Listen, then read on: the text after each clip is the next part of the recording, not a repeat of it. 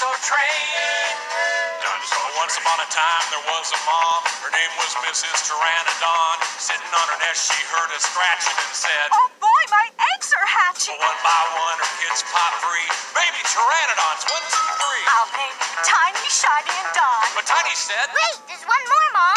Last little baby was a different size, with teeth and a tail and big green eyes like the rest. What am I doing in a Pteranodon nest? But dear old Mrs. Pteranodon Oh, said, this is your family and I'm your mom. You may be different, but we're all creatures. All dinosaurs have different features. Come on, buddy, we'll take a vacation. I'll get us a ticket at Pteranodon Station. We'll travel the world in sunshine and rain and meet all the species on the... Dinosaur train! Dinosaur train! Dinosaur train! Dinosaur train!